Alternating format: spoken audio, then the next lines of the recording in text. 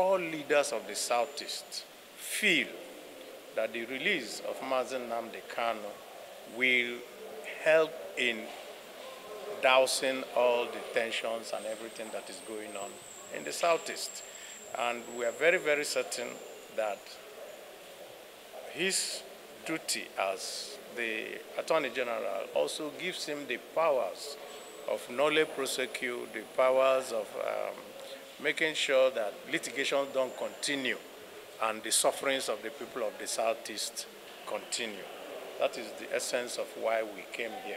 Nnamdi Kanu himself also confirmed to me last Monday that he never, never made any request of that nature that anybody should go and kill people. In fact, he was very pained that the Southeast is suffering because of this.